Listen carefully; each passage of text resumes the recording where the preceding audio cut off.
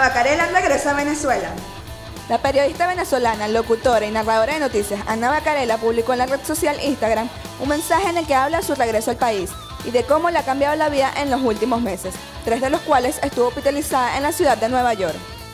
Aseveró en su escrito que abrazar a sus hijas producto de su matrimonio con Roman Losinski es de los regalos más grandes que le ha dado la vida, definiéndolas como un sol radiante por partida doble.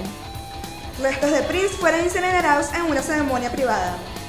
El cuerpo del icono del pop Prince fue cremado en una ceremonia privada, mientras se prepara un acto público en su honor, dijo la portavoz del artista Anna Micham.